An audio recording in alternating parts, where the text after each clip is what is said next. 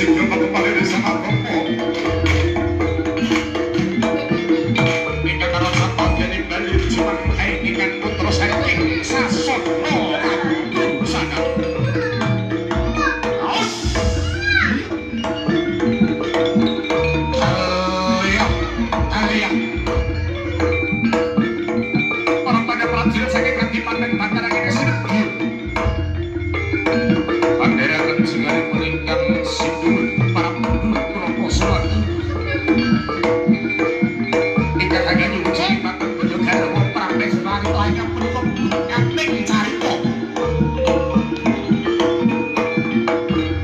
seratus tujuh ratus sekawan desa dan lama.